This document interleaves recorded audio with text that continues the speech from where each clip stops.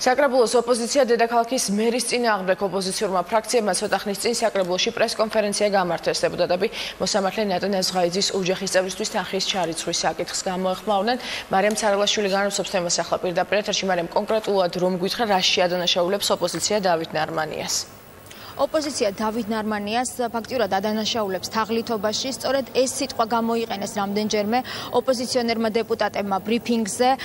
მათ განაცხადეს, რომ დავით ნარმანიამ საკრებულოს უმრავლესობას დაუმალა დოკუმენტაცია, რომლის მიხედვითაც მდინარე ვერესხეობაში სტიქიის ზონაში არსებული მიწის ნაკვეთი არ ეკუთვნოდა მოსამართლე ნატან აზღაიძის მას, არამედ ის იყო უკვე საქართველოს ბანკის საკუთრებაში და მიუხედავად ამისა დავით ნარმანიამ საკრებულოს თანხმობით ნაზღაიძის მას მისცა კომპენსაცია კომპენსაცია აქვე მედიის წინაშე კამერების წინ ოპოზიციონერმა დეპუტატებმა შეიმუშავეს განკარგულება და ხელი მოაწერეს ამ განკარგულებას. ისინი ამით ითხოვენ საკრებულოს იმ გადაწყვეტილების გაუქმებას რომლითაც სწორედ კომპენსაცია მიიღო ნაზღაიძე მოსამართლე ნაზღაიძის ძმამ. ოპოზიციონერები აცხადებენ რომ ეს იყო თაღლითური სქემა.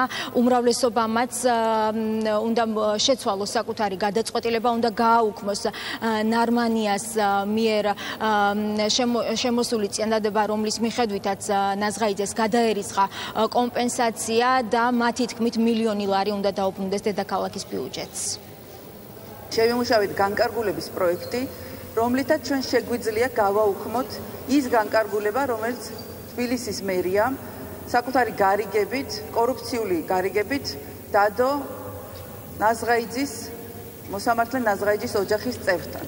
სულ ახლახანს ჩვენ შეგვიძლია ამ განკარგულებით გავაუქმოთ ეს განკარგულება თუ რა თქმა უნდა კარგად გაიცნობიან ქართული ოცნების უმრავლესობის წევრები საკრებულოში ახალ გარემოებებს იმ ინფორმაციას რომელიც დამალა ქალაქის მერმა და ისე მიაღებინა საკრებულოს ეს გადაწყვეტილება. თბილისის მერიამ დაახლოებით თვენახევრის წინ ძალიან უტიფრად განახორციელა თაღლითური და კორუფციული სქემა დამალა შეგნებულად დოკუმენტაცია რომელიც ადასტურებდა რომ ერთ კონკრეტულ ადამიანს საერთოდ აღარ გააჩნდა ქონებაზე უფლება.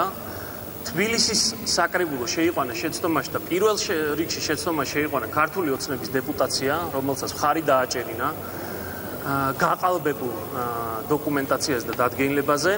რის შედეგადაც თბილისის ქონება 1 მილიონი ლარის ღირებულების ქონება გადაეცა ადამიანს, რომელსაც 1 ლარიც არ ეკუთვნოდა. ეს მოხდა, რა თქმა უნდა, შეგნებულად და მოხდა იმისთვის, რომ ამ ადამიანის ოჯახის წევრმა მიიღო სინდისის სამართლიანობის და პროფესიონალიზმის საწინააღმდეგო გადაწყვეტილება რუსთავიორთან დაკავშირებული გადაწყვეტილება გახდათ მოსამართლე ნაზღაიც 2013 წლიდან 2016 წლამდე აღნიშნული მიწის ნაკვეთის მესაკუთრე გახდათ საქართველოს ბანკი. სამხარაულის ეროვნული ბიუროს შეფასებით სტიქიამდე ამ მიწის ნაკვეთის ღირებულება გახდათ 961000 ხოლო შეძენის მომენტისათვის, ან 2016 წლის დეკემბრისათვის მისი ღირებულება შეადგენდა 23000.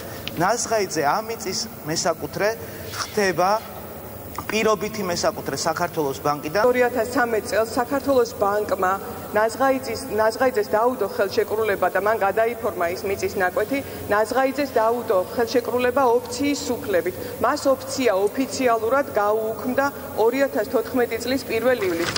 ეს გახლავთ საჯარო რეესტრიდან ბეჭდით დამოწმებული დოკუმენტები და აი ეს დოკუმენტი ნარმანიამ დაუმალა ქართული და დაუმალა საკრებულოს ჩვენ ვესაუბრეთ საკრებულოს თავმჯდომარეს საკრებულოს თავმჯდომარემ განაცხადა რომ თავის დროზე უმრავლესობამ გადაწყვეტილება მიიღო კანონიერად იმ და მისი განცხადებით ის დოკუმენტაცია რომელიც შემოვიდა საკრებულოში ეჭვს არ იწევდა. მიუხედავად ამისა გიორგი ალიბეგაშვილის თქმით უმრავლესობა ოპოზიციის მიერ წარმოქმნილ მასალებს შეისწავლის საკრებულოში შემოსული მასალების და დოკუმენტაციის საფუძველზე საკრებულო მიიღო კანონიერი გადაწყვეტილება იმოქმედა კანონის ფარგლებში. ის დოკუმენტაცია, რომელიც იყო შემოტანილი, არანაირი ეჭვის საფუძველს არ იძლევა. რაც შეეხება ჩვენი კოლეგების ასე ვთქვათ წინადადებას, რომ თავიდან იქნეს განხილული ეს საკითხი, ეს არის საკრებულო გახლავთ კოლეგიალური ორგანო, თუ ისინი თვლიან, რომ მათ მიერ მოპოვებული დოკუმენტაცია განსახილველია, ჩვენ აუცილებლად ვიმჟელებთ ამ საკითხზე და შემდგომ შესაბამის გადაწყვეტილებას ვიღებთ.